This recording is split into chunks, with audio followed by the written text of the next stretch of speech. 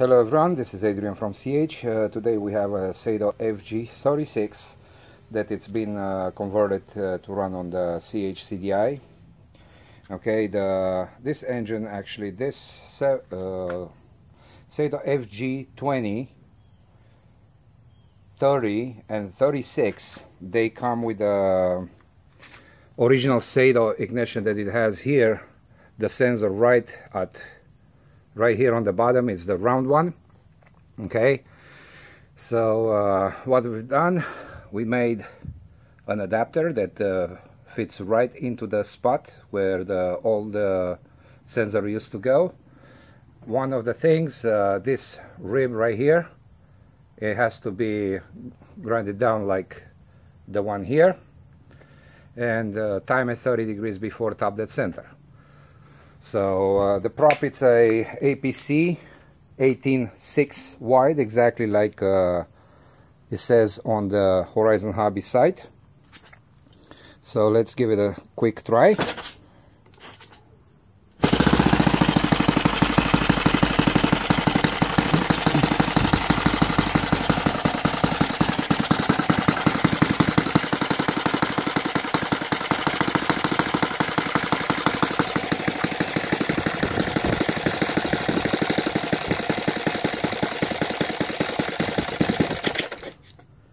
Okay, I went a little bit too low with it.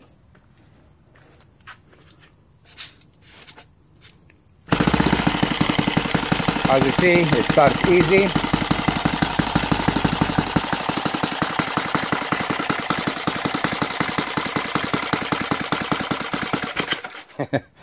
yeah, and by the time I get to throttle it a little bit,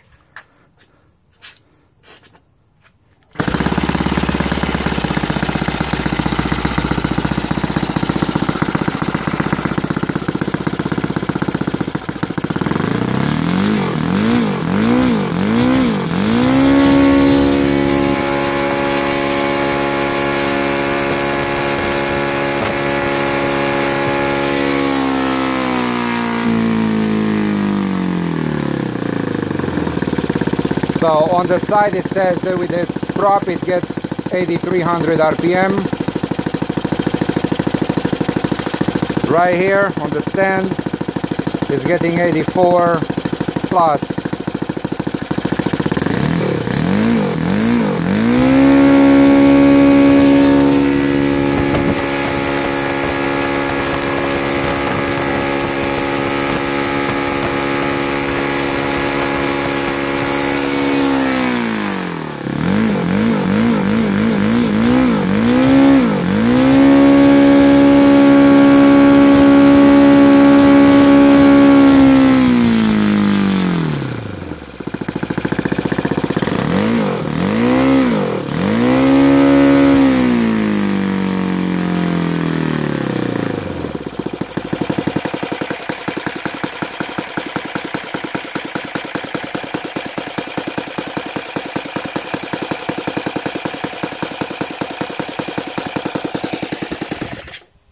So yeah, around 1300 it's the right RPM. I'm trying to go as slow as possible.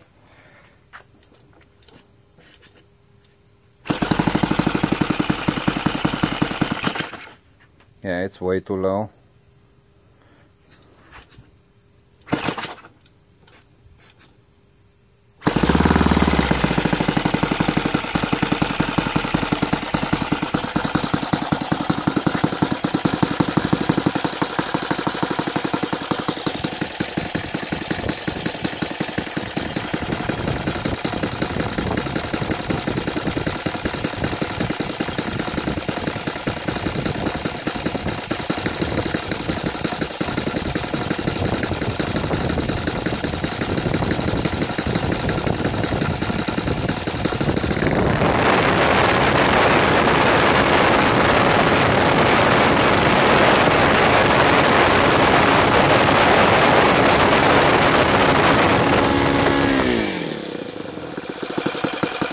I have not tuned it at all. I just uh, put it on the stand exactly how I got it from the customer. So probably if I will play with it I might get a little bit or I might lose a little bit RPMs, never know. So then again that was just a quick video on the pretty much evening okay so here is where the sensor gets it gets mounted exactly in the same place where the original was. Okay so right there. Uses the same two bolts and this uh, sensor holder it works for the Saito FG20 uh, on that one you have on that engine you have to use the two little spacers that they are under the original sensor. On the FG30 you don't have to do anything. It just goes exactly like this one and might have to work out a little bit the way it's here to get the 30 degrees before top dead center. A little bit filing here and there might be required but for those that they have those uh, ignitions and uh, get out of it I'm sure that uh, after so many years you cannot find those anymore but uh, we have the sensor adapter and actually Bill Carpenter had this for a very long time. So when I took over I just made it more. So this is the Saito FG36 running with CH ignition sensor CDI conversion. Also I have uh, the carburetor adapter for uh, some some people actually called and say that they have some problems with this carburetor when they turn or they bank left or right I don't remember.